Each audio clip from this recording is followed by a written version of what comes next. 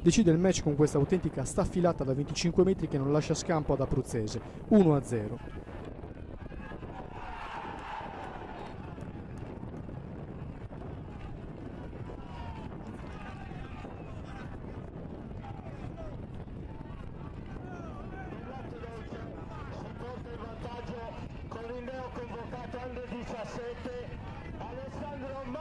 Nel destro di Alessandro Masala ci sono potenza, precisione e coordinazione, un mix vincente che regala la vittoria fondamentale ai biancocelisti nella fase cruciale del campionato e dopo la sfortunata gara contro il Sora finalmente si festeggia il ritorno alla vittoria casalinga. La Tedolce batte Palestrina 1-0.